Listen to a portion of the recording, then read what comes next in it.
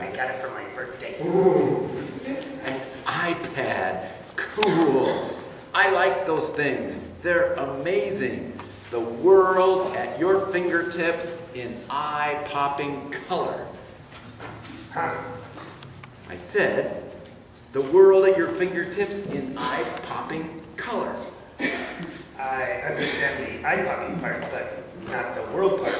I said I got an iPad.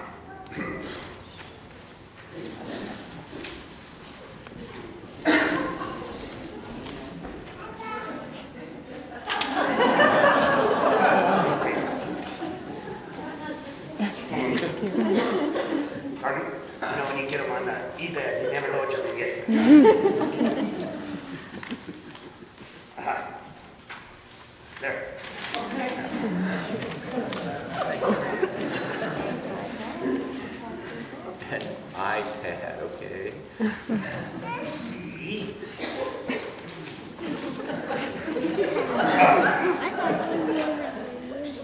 It's Long, Long John Lorenzo. That's an eye patch, not an iPad. yeah, but mine is padded. to make it more comfortable, I got it from ComfortFitPiratesCostumes.com. So, what do you do with it? You can't really surf the web with an eye patch. No, but you can surf the seven seas and play pirate. It's exactly what I asked for. Yo, yo, a pirate's life for me. I'll bet it was uh, less expensive than a real iPad. it is a real iPad. See?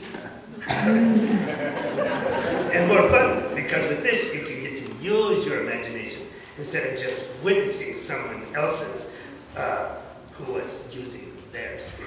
Well, I guess, but you can't really check your email on that thing. Pirates don't need email. We have flags. Arr.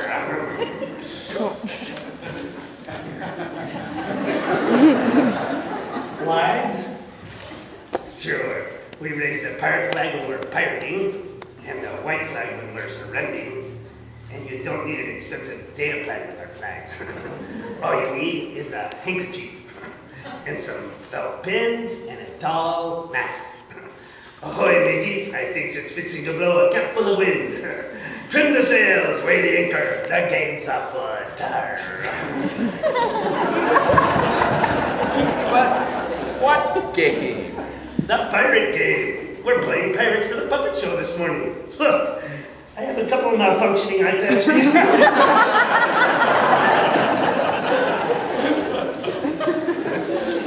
See? Not sticking on you. and one uh, that fell down there. Just shut an eye, you can get the feeling for it.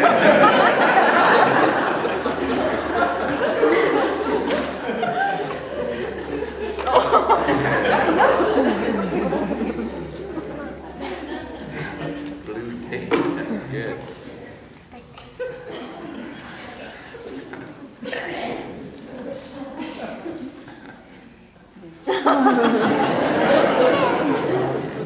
Well, I do feel piratey.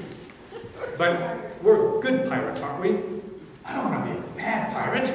Well, we could be like the Robin Hood of pirates, taking from the rich and giving to the poor. But that's still taking.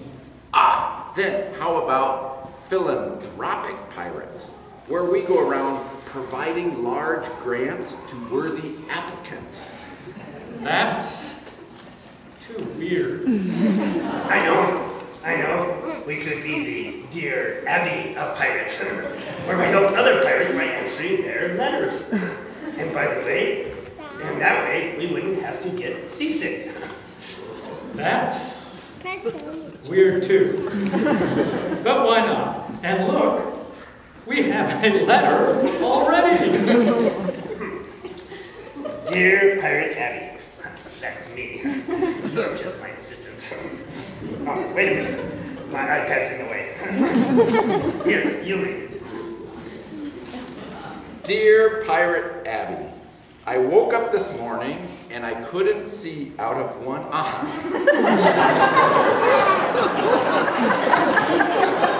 I don't have enough money to go to the doctor. What should I do? Signed, scared of being sightless. Hmm, that's easy. Dear Scared, just take off your pirate iPad before you go to bed next time. Like this. Here's another one. Dear Pirate Abby, I have a chest full of gold and I don't know where to hide it. The worry is killing me.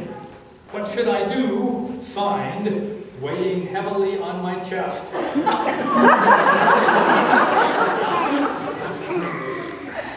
have an idea. Dear Heavy Chest, instead of keeping your gold in one place, why not use it to make a bunch of microloans through Kiva? Then you could be helping others with it and wouldn't have to worry. Hmm. Wow, well, that's a good idea, but look, there's one more letter. Hey, this one's from Kay, and she's not even here. She's on the mission trip. It says, Dear Pirate Abby, I saw this script on the computer last night, and what I want to ask is, what in the world does any of this have to do with today's Bible story? Signed, The Significance Police. She sounds a bit irate. An irate pirate. Ah, well, let's see, anyway. Uh, today's sermon is about Jesus turning the world upside down and teaching us a whole new way of, to think about being virtuous.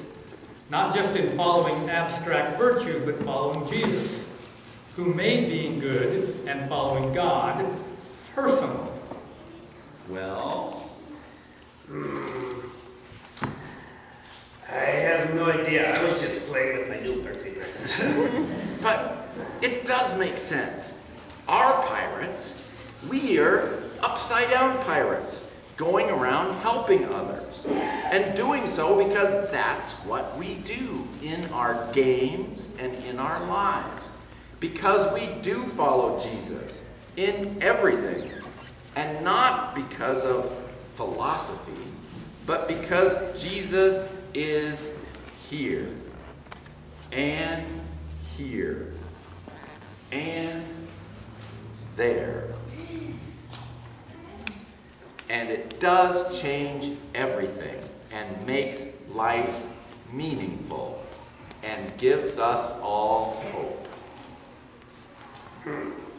I hope Kay watches the end of this pirate puppet show on YouTube. I hope you get a real iPad next year. I hope that we all And now, is this another great day for living with Jesus or what?